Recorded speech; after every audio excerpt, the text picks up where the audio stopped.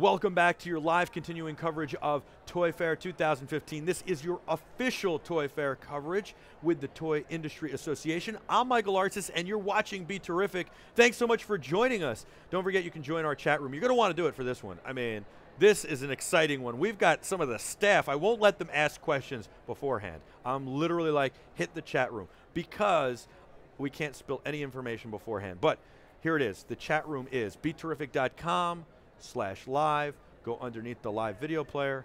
There is a chat room. It's an IRC. Join anonymously or create a login so you can come back often. I'm checking it throughout the interview. I'm looking at it right now.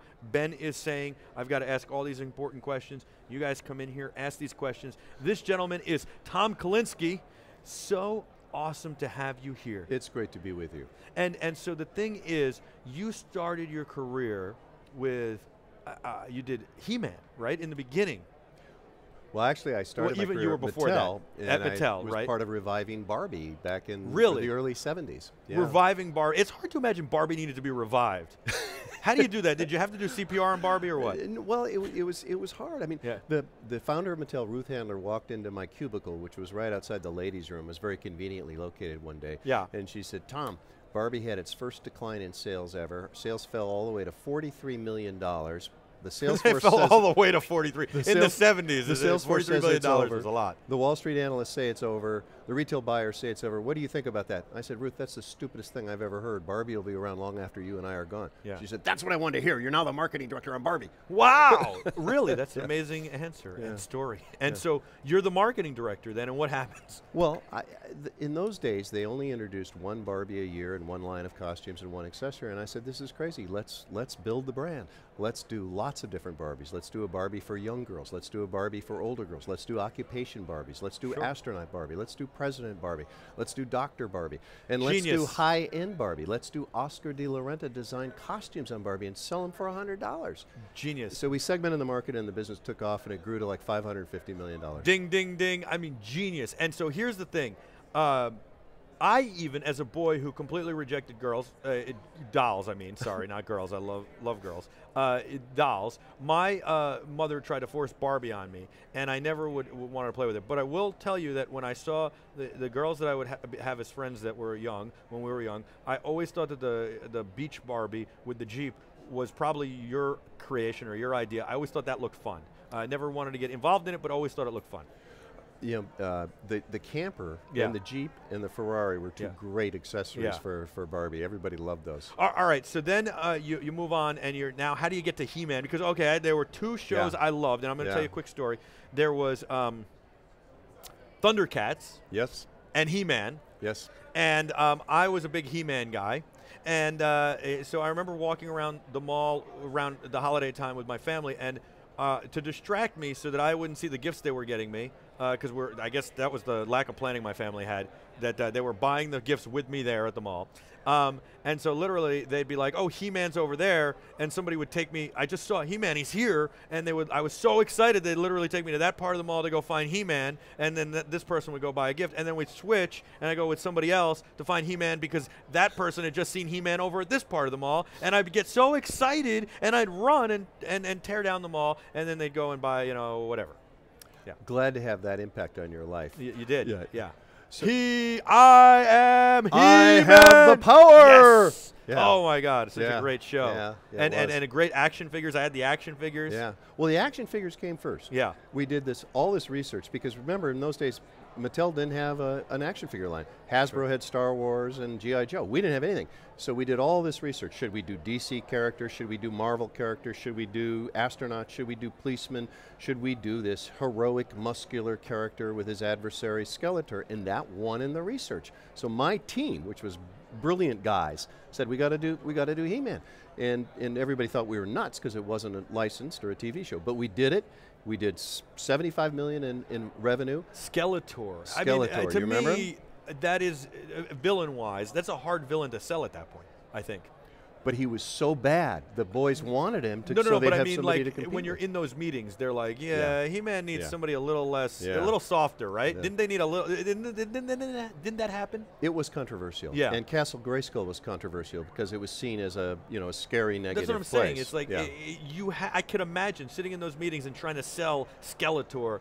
I'm talking. You didn't have a TV show. You're No, saying this is going to be amazing. And okay, so who's the villain? Oh, it's this guy Skeletor. yeah. Yeah, maybe we could go Pretty for like. Uh, how about the Iron Sheik? Which wasn't out yet, but I mean, like, I, you're, I'm thinking like they're they're like, yeah, maybe we could find, but maybe Darth Vader even paved the way for that yet. Well, certainly because Darth Vader was awfully scary. he was, to, yeah. to young boys. All right, so then you get them to do He-Man, and you do so well, and then they say, we The, the, the chairman walks in my office one day. He says, "Well, it's great you made this a successful toy line, but it really won't be big like Star Wars is because you don't have a TV show and you can't get one." I said, "You want to bet?" And so we did a deal with Filmation and Group W. We each put up three and a half million dollars. Wow. We produced 65 half-hour episodes, which had a moral message at the end of each show. You probably remember I that. I remember this, yeah.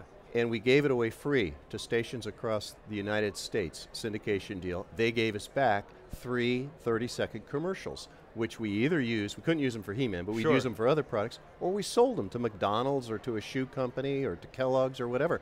Well, the show was so successful, we made a profit off the, off the television show, and the revenue of the toy line grew to $750 million. This is genius. I mean, uh, what people don't realize is that you gave the show away for free. Yeah. And Yeah. you got back the money in advertising. Yeah. But uh, I mean, like to do that back then, It was the first time it was Yeah. done by a toy company. Yeah. unbelievable. And you became the ad agency basically. Well, we Or- we, we or a ended media up, buyer. We ended up selling a lot of Right, media. that's what I'm saying. Yeah. yeah. Unbelievable. Okay, and now you've made He-Man a success, Right. both on television and uh, the figures. Right. And then what? Well, we did a movie with Dolph Lundgren too. What was that movie? He-Man. I don't remember that movie. That's probably good that you don't remember that movie. What is that? the TV show was a so lot he better. was He-Man. Yeah. Dolph was the uh, bad guy in No, Rocky no- Five. Oh yeah. But Yeah. He was he was He-Man. Yes, I must break you. Yeah. I don't Yeah. think he looked enough Ivan like Drago. me. You know, he- didn't look enough like what? me. Yeah, you were the model for He-Man, right? I should have been. Yeah. so okay, now you. I didn't know you guys had a movie. How did I miss the movie? I don't know. It didn't last long. I guess in the theaters is probably the It was not a that. success. Are you serious about that? It wasn't. A, it wasn't. Did you? Successful. It's because you didn't give it away for free. Maybe. Maybe. you know that wouldn't have been a bad idea. You give the tickets away Yeah. for free, give it to the theaters for free, so they can get it. They make the money off the concessions, which is what they make money off of anyway. And you guys make the money off. Throw some advertising, product Well- placement, right in the middle of the movie. Eh, And we did the touring show, Yeah. like like the Disney I shows. remember, yeah. And, and that was the, one of the most successful touring shows for a boys' property ever. Yeah. I mean, it lasted for years. I remember watching uh, those commercials for that in between and wanting to go see that. I never did, but in between the monster truck commercials, for, you know, Sunday, Sunday, Sunday. Right. All right. Uh, so now we get to the real stuff. All right. Uh, ben remembers the movie, by the way. He's one of fi- five people that actually liked it. He's in the chat room, the IRC chat room. Good. Now we get to consoles and Yes. the console wars. Now you're the author of Console Wars. No, no. Yeah. Blake Harris is the author of He's the Console author, I'm Wars. sorry. It's about the time period where I was CEO of Sega, That is 1990 correct. and I'm sorry. I, I, I remember that and, and messed that up on you. I'm sorry. But there's a great book called Console Wars. Everybody's Yes. got to check out. And you, it's about your time period in, in the 80s. Uh, Yes, and 90s. And 90s with Sega. So now you're now how do you get to Sega from Mattel? Well, I had done something in between called Yeah. Matchbox uh, toys. Oh, yeah, something small. I don't- I never yeah. heard of them before. But but anyway, I, got, I had gotten to know when I was at Mattel the Yeah. the, the CEO and chairman of, of Sega because they did arcade games in those days, Sure. and at Mattel we were looking for licenses. There was like a Barbie game, wasn't there? There was, and Yeah. and so and so I knew this guy, and he kept asking me to come work at Sega, and I kept turning him down. Yeah. And I was on vacation in Hawaii, and all of a sudden, this Japanese guy appears on the beach in Maui and says, "Tom, I've been looking for you." And I said, "Well, how did you find me?" And he said, "Your secretary told me where you were, and I'm here, and you've got to come to Japan with me." And I said, "Well, why do I want to do that? I'm on the beach here with my wife and children." Said, "No, no, you got to come to Japan with me. Look at 16-bit technology." Now, I had never seen 16-bit technology. This was the Genesis. Yeah, so I went Yeah. back to Japan with him. I saw it and I fell in love because it was so. What do you say to your wife? I could imagine because I can only imagine this conversation. Well, look, Oh. the guy came all the way to Hawaii. We gotta. Uh, I gotta. I'm only. It's only gonna be a day. So he says. He says 20 hours. I'll be back in 20 hours. You know what? Hey, um, Yeah. I'll tell you what. Um, there's a really nice jewelry store over there. Why don't you Yeah. um, Yeah. put it on the room? My daughter saved Yeah. me.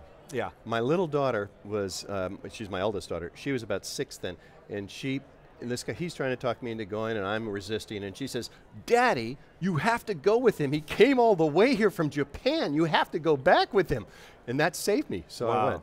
Yeah, yeah, and you have understanding family. That's great. And then, uh, so now, you, then you, you, you're convinced. You see 16-bit, and you're convinced. I am. Yes. Yeah, and and so then we get Joe Montana football. 121 points I score every night playing Joe Montana football You against the computer. Oh, I, and and it was a lot of fun. I was Yeah. addicted to this game, no joke. Yeah. And and and uh, you, uh, what was the slogan? It was, uh, "You can't do this on Nintendo." Yeah. And I loved my Nintendo, but I had to have a Genesis. Sega does what Nintendo don't. Was the exact end line on the commercials in the early days, and then it was "Welcome to the next level." Yes. and then it was Sega, the screen Oh, that we ended each commercial with. But the, the strategy, as you was to do lots of sports games. Yep. It was to lower the price of, of Genesis to $149. It was to put Sonic the Hedgehog in. It was to go after teens and college kids instead of little little kids, Right. and leave little kids to Nintendo. Go after older kids for And, and I think you hit me at the right point because I, I was a big Nintendo guy, but I was growing out of Nintendo. A lot of Yeah. the, you know, Tecmo Bowl was fun, uh, Yeah. but a lot of the, the the games I was outgrowing. I needed the next thing, Right. and you were you were there. I remember just I wanted this Sega so badly, and and my parents didn't want me to have it because that meant buying all new games and spending Yeah. fifty dollars a cartridge. Right. Um, and I liked that the sports games were there. But what about Sonic? I, it took me a long time to wake, warm up to Sonic. I really didn't love that game in the beginning, and I, because I I knew who the Mario Brothers were, but I didn't know who Sonic was, and it just it seems so fantasy about it to me. Well, we, we built the Sonic Yeah. brand much like we built toy brands in my past life. We did a Sonic television show. Uh, Sonic 1 I thought was a pretty good game, but Sonic 2 was sen- a sensational better game, yeah. We brought the team from Japan to the United States, and they worked with some of the U.S. guys down the street from our, our headquarters in Redwood City, and they built a great game Did this Sonic ever 2. get like super competitive between Nintendo's a Japanese company, Sega's a uh, Japanese company? You got there's Atari out there at the time. Everybody's trying to one up each other. Yeah. I'm sure you know Nintendo probably thought they were doing pretty good, and then you guys came out with the Genesis, and I imagine that it there's got to be some competition. Oh, it was it was ferocious. Yeah. It was absolutely ferocious. We we hated each other. Uh, we would uh, you go. We made fun of Nintendo in advertising.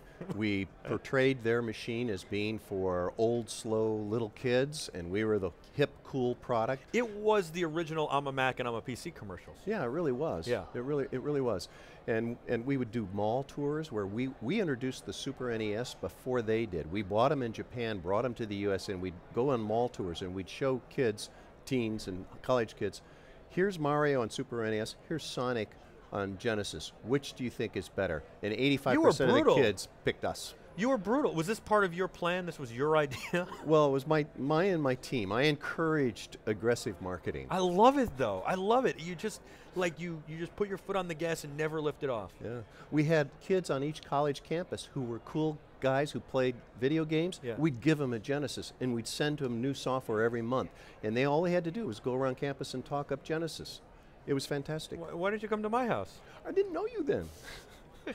I, I- what what was the craziest thing you guys did publicity wise to basically knock Nintendo off the pedestal they were on? Well, uh, one of the fun stories was Nintendo was so powerful Yeah. that third-party developers were afraid to develop for Sega because they were afraid Nintendo Sure. would punish them.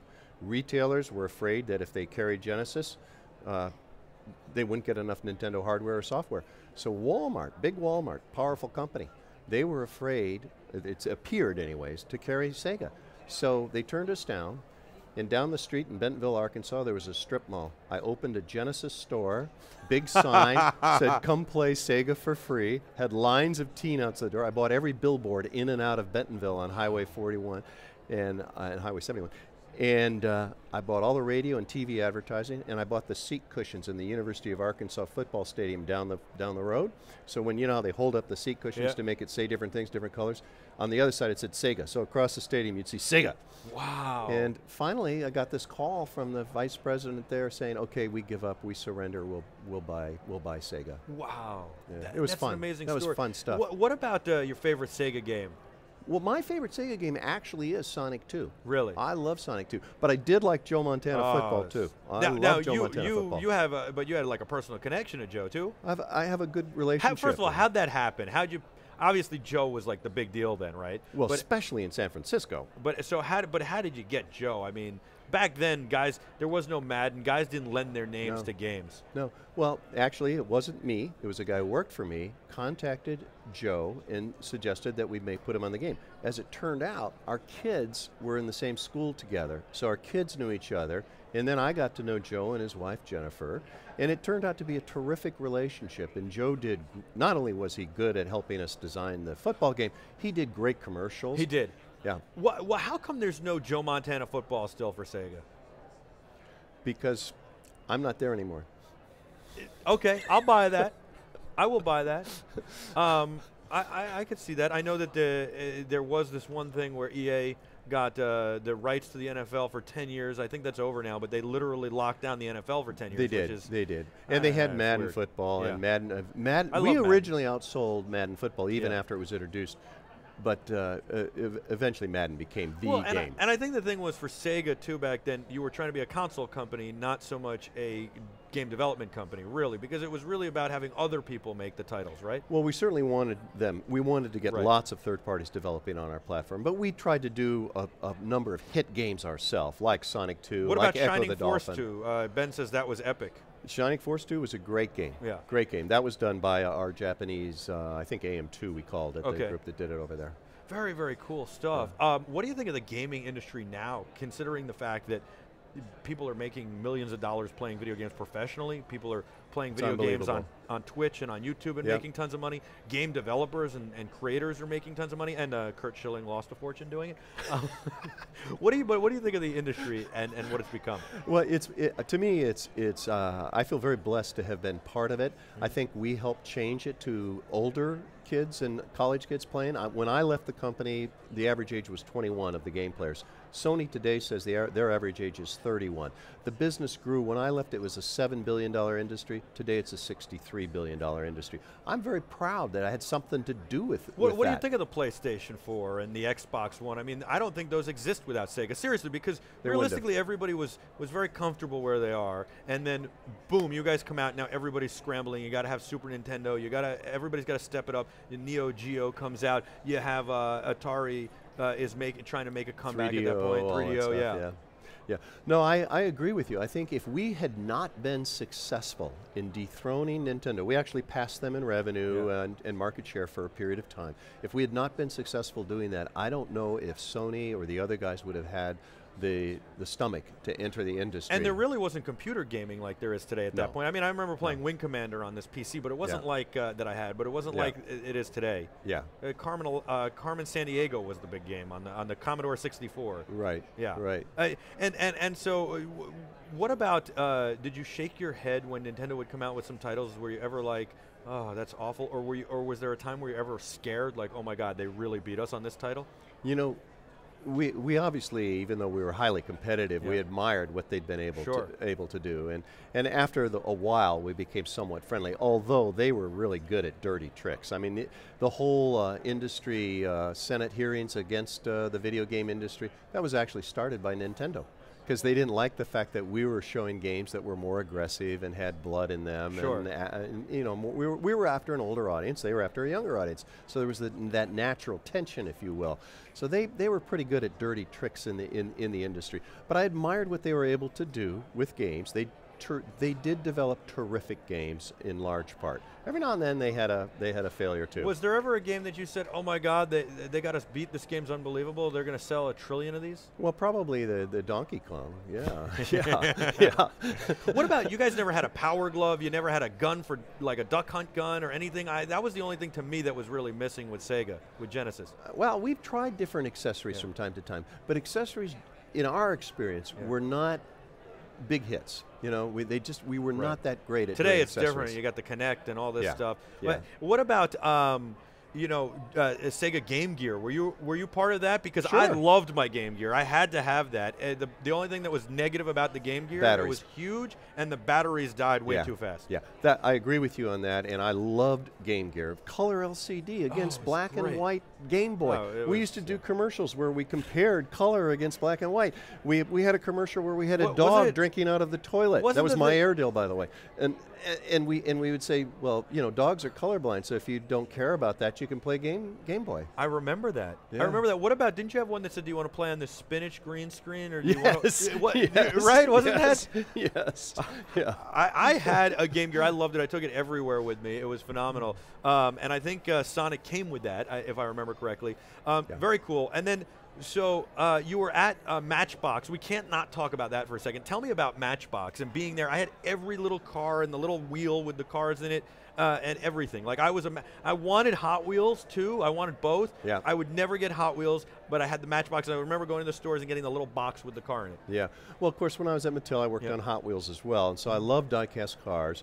And the Matchbox company had gotten into trouble in England. It was an English company, and they'd gone into receivership. And a friend of mine, David Yeh, who was a Chinese manufacturer, very successful guy, had worked out an arrangement to buy the company and asked me to join him on that. So I joined him, and we helped. Companies are in receivership for a reason. There was a lot of issues. We restructured the whole company. We got it back on the right track.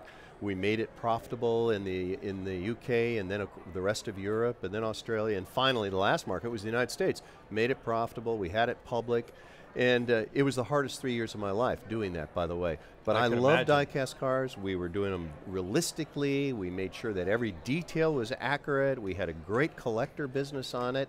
But it was it was an exhausting experience, and we ended up selling the, the company eventually. I used to go to Jay's Stationery in Great Neck to get my Matchbox cars. Yep. and there was Big Top Toys that I would go to get my console games Mm-hmm. on Long Island, um, and, uh, and and I just loved the the console gaming. Tell me about Console Wars. Tell me about the book. Okay, so three years or so ago, the author Blake Harris contacted me here at Toy Fair and said, I want to do a book on the period of time that you were at Sega, 1990 to 90, 96, fighting against Nintendo. And I said, That's very interesting, Blake. There's probably 200 people in the world that care. And he said, No, no, you're wrong. There's all these guys who are really interested in that period of time, and retro gaming is back. And eventually he convinced me. So Blake went out and interviewed 300 people. He interviewed Sega people, Nintendo people, the guys in Japan, our retailers, Wow. consumers, and put together a terrific story about that period of time. I, I, think it sounds amazing. Uh, I got to get my hands on a copy.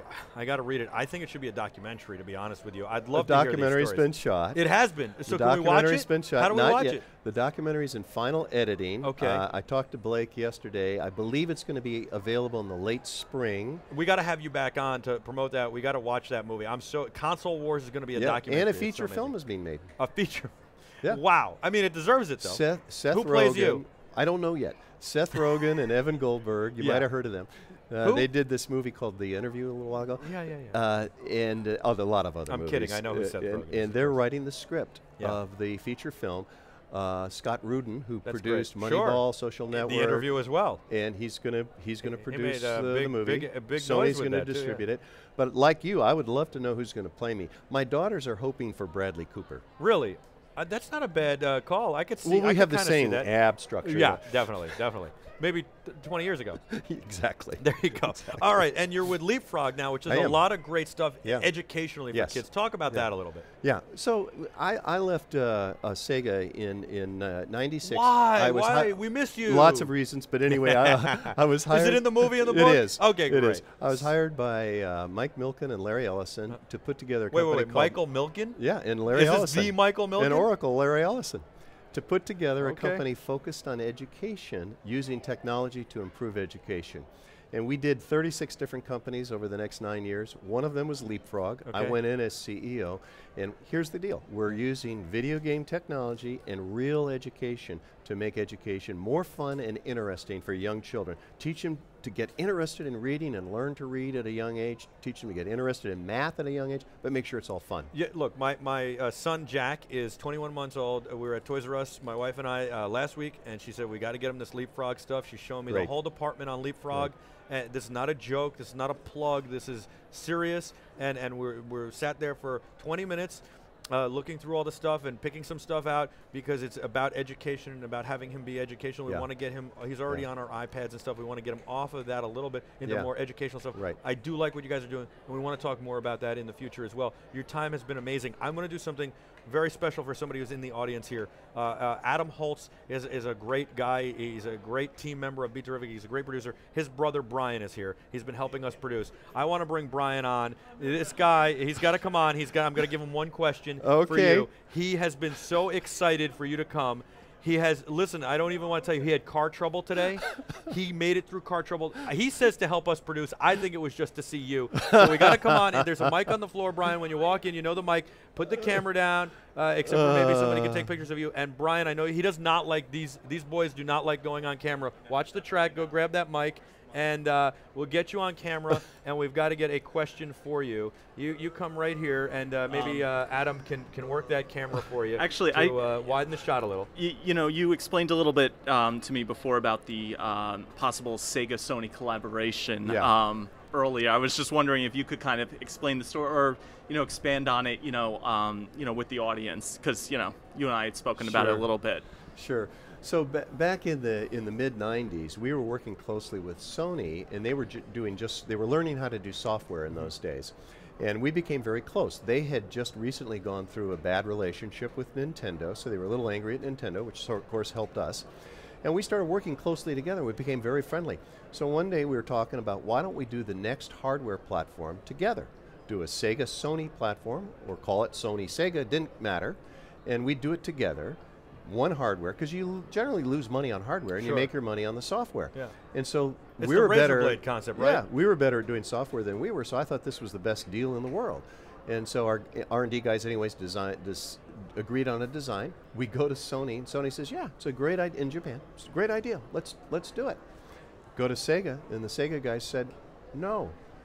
Why should we help Sony?" And honestly, I thought this was the dumbest business decision Yeah. in my lifetime. Because imagine what today could have been. It could have been Sega, Sony, PlayStation, Yes. and uh, it'd be great hardware dreaming and about great this. software from from Sega. And I'm dreaming about this, and I'm dreaming about a PSP that is a Game Gear PSP. yeah, that would be great. Oh. That would be terrific. oh, all right. Brian, great question. Do you have one more for us? Come on, one more. One more, Brian. Brian, Brian, Brian. Bri- That's it? One more? You want to ask it off camera? I'll translate it. He had so many before. We talked earlier. I know. So I, I answered Is there a lot another of his story? Yeah, but I want the viewers to hear these great questions. This is why he wasn't supposed to talk to you off air. All right. Was there a, a question that he asked you or a story he got out of you? Because that's a great story eh, that that he got out of you that you you can retell. Oh my goodness. Oh, the chipset stuff. Yeah. So again, uh, you know, I wasn't crazy about the original specs for what became the Saturn. Yeah. And so I, I knew Jim Clark, who was then uh, chairman of Silicon Graphics in Silicon Valley. And he called me up one day and said, I got a great chipset that you're going to love. It's going to make a wonderful video game machine. A guy here named, named Jensen Huang designed it. That guy later founded NVIDIA, famous company. uh, and, so my guys went over and we looked at this chipset and we, we really thought it was great. And so we called the Sega hardware designers in Japan to come over and look at it because we thought it was a better chipset than, frankly, what was going into Saturn. And they come over and they look at it and they said, ah, it's too big, too big a chip, what have you, it'll cost too much. And so they rejected it. And so Jim asked me, he said, well, what do I do now? And I said, well, there's this other company in Seattle you might try selling it to. And that became the chipset that's in the N64. Wow. That's unbelievable. Yeah. Yeah. That was a very nice thing of you to do. Well, I like Jim. Yeah. And I was a little angry at Sega at the time. I'll tell you what. You want to play a little slot car here? You like? You seem like a Oh, guy who likes to have yeah, I do, So I will be the um, Which car are you? inside car. I'm going to be the white car, I think. Uh, No, I'm the. Uh, yeah, I'm the white car here. Yeah. Okay. And No, I'll, I'll say three, and Oh, then we'll go. okay. And uh, while while we do this, if we can get it going for a little while, Yeah. uh, we'll talk a little bit. Uh, I have one last question for you. Okay. Uh, but I really appreciate your time and everything. All right. Here we go. You ready? Yep. Three, two, one. I guess we can't hit the turn at the same time. What the Maybe heck? Brian can reset this real quick. He won't be on camera, I promise that. What do you think of these stadiums? They're filling stadiums playing video games now. Is, well, is that just you blow know, your mind? the uh, the whole thing about Twitch TV, Yeah. 65 million people watching others play video games. Yeah. Isn't that fantastic? unbelievable. Who would have who would have thought of that? Who would have? Is, Yeah. is right. Well, I'm also a partner at Alsop Louie Venture Capital, and we invested in that company. Very smart move. Yeah, early Very on. smart move. All right, here we go. Three, Right. two, one. And I'm the blue one now. Oh, we got the you wrecked it crossover again. Oh, on the crossover. Sorry. All right. Well, it Enough was a lot of fun. Thank you for playing. Thank you for coming on. Please stay in touch. Yeah. We got to have you on more. Yeah, terrific. All right. You Love like the being with you. PlayStation? Thank you. I do. We've got uh, PlayStation 3 at home. We don't have 4 yet. But do you, you like it? And uh, you like the Xbox One. You, Yeah. You're impressed by But what video games have become? I, I am. I mean, the Yeah. graphics are incredible. The Yeah. play is incredible. I still like sports games. Me too. Yeah. I can't stop playing them, A- and I'll take any sports game. Basketball. I even like the the, the, the, the snowboarding games. All that stuff. Yeah. Yeah. The basketball's sensational. Yeah. Absolutely. Remember NBA Jam? Yes, very Yes. much so. He's Yeah. on fire. We're going to break. We'll be back with a whole lot more from your official Toy Fair live coverage, Toy Fair 2015 at the Jacob K. Javits Center in New York City. I'm Michael Artsis. My machine's the real thing. We'll be back on Be Terrific with a whole lot more right after this.